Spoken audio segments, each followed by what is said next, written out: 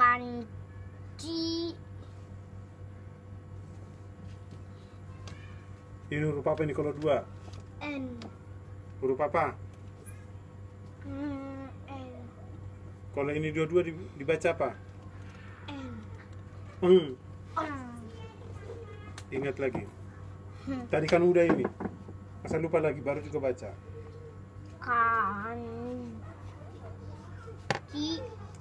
ong berarti kan Mana ada kanciung? kanci Hamek ke lebih babam. kancing Cepat. Kancing. mana tadi Kanciung. Mana ada kanciung? kancing Kancing. Kan- Ingat kalau ini kalau ini dibaca apa ya? Kalau ini ketemu. kancing Ini dibaca apa yang ini dua? cing